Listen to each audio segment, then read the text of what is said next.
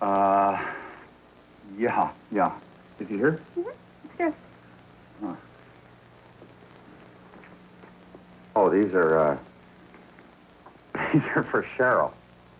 Uh, the kid was selling flowers on the freeway off-ramp, so I thought I'd be the first man to ever bring her flowers. How nice. She's already asleep, but I'll make sure she sees them first thing in the morning. Oh, oh okay. Uh, excuse me. Nice to meet you. Same here. Ricky, Hi. how you doing? You all right? Me, yeah. Um, came by to say hi to your mom. I, I think I interrupted her. Oh, yeah, she's with Dennis. I was going to tell you about him. Dennis. Seems like a nice guy. Maybe a little bit too good looking. What are they old friends? Huh? Not exactly. They just met today through a computer dating service. I slipped mom's stats into their computer. It's a high-class place. It's called Compudate. Did you say Compudate? Mm-hmm. Why? Mr. Humphrey is in a meeting, but he'd like you to wait in his office. He'll just be a minute. Thank you. Oh. Serendipity.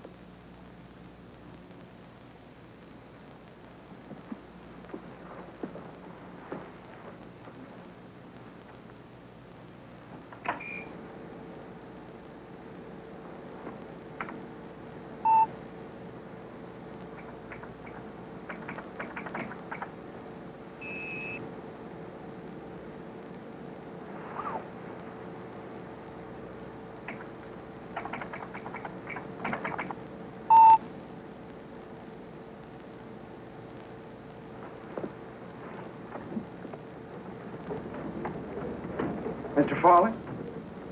Oh, uh, Humphrey. Hi. You know, you got the same, same computer we've got down at the Gazette. Of course, yours works. Well, I hope you're here to write a glowing article about the computer dating industry, uh, featuring CompuDate prominently, of course. No, actually, uh, I'm here researching another story. Concerning the death of Muriel Gregors. I understand she was a client of yours. You, uh, you must have excellent sources, Mr. Farley. Our client list is very confidential. Yeah, and uh, very exclusive, I understand. In the monetary sense. We do have rather high standards. What, uh, what is it exactly you want? Well, I understand from my excellent sources that shortly after Muriel Gregors enlisted your service, she was seen around town with a Terry Blair. Some 17 years her junior. Last year, he made just under $11,000. Now he seems to have disappeared. I'm, I'm curious how this uh, elusive Mr. Blair made it onto your rolls. What makes you think they met through CompuDate? Perhaps they met at, uh, say, a washateria. She already had her own washer and dryer. I have proof they met through CompuDate. Okay? well, we certainly have nothing to hide. Mr. Blair is a commodities trader. All brokers have their ups and downs, and last year was a very bad one for his business. Okay. Well, I checked with Miss Gregor's bank. It seems that she withdrew substantial sums of money, starting with the time she began to see Mr. Blair up until shortly before she stopped. What does that suggest to you? Not a thing. But, uh, whatever it might mean to you, it certainly has nothing to do with CompuDate. Good day, Mr. Farley. Yeah, see you around.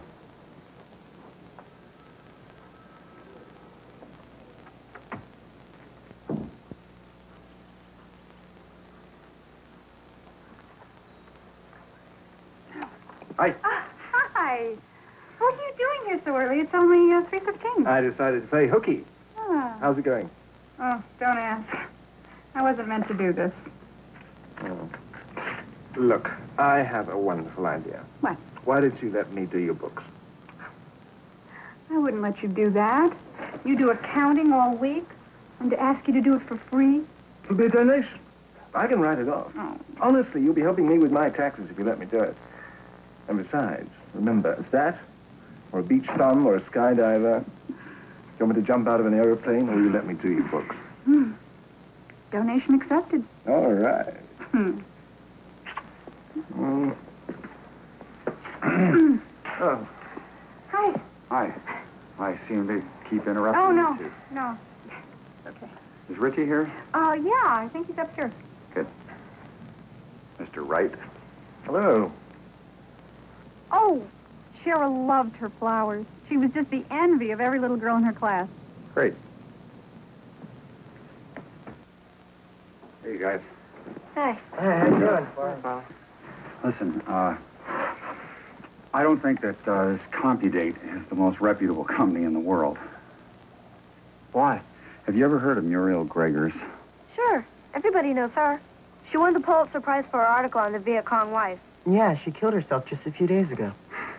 Well, I'm not convinced she did. I think someone might have done it for her. And I think it might be connected to CompuDate. Could you access the private files of CompuDate's president, Robert Humphrey, and print out what he's got on Muriel Gregors and a Terry Blair? CompuDate matched them up. Now he's disappeared. Sure. Great.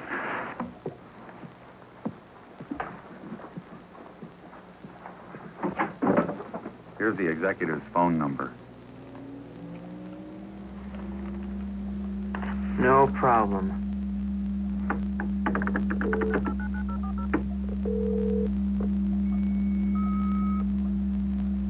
Customer files. It's a six-digit password. Okay, all right. The famous Richie Adler password penetrator program will isolate it for us.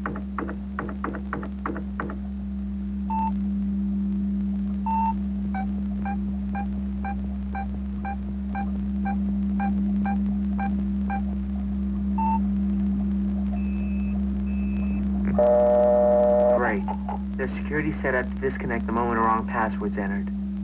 There's no way for me to run through the whole list of possibilities. Unless each one's a separate phone call.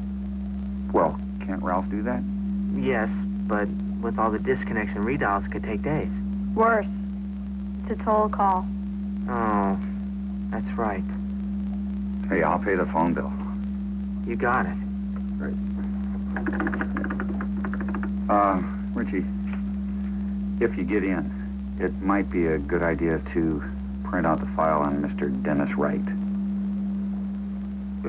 Well, I guess. Okay. Bye, guys. Bye. Hey, something wrong? No, Nothing. Well, maybe a little something. What? I'm sort of beginning to worry about liking you too much. Well, personally, I don't think that's anything to worry about. If you feel uneasy with the way things are, we can always back off a couple of steps. What do you mean? Not see each other as much. I could call rather than just dropping by. Whatever it takes to make you feel more comfortable. Yeah, that, that would probably be the smartest move. But then I've seldom been known for making the smartest moves.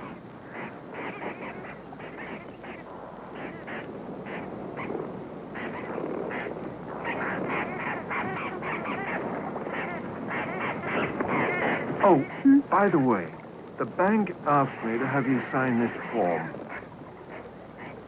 Just a formality. Use my badge. Whatever you say, Mr. Wright.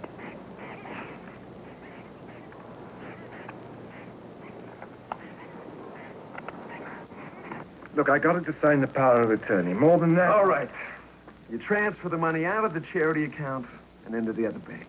Then you write her a bad check from the old account, take her to the party so she isn't suspicious, and get on the midnight plane. You'll be in Venezuela before the check bounces. Here's your ticket. If we go through with this, you're going to lose my services for a long, long time. I think we should just skip it.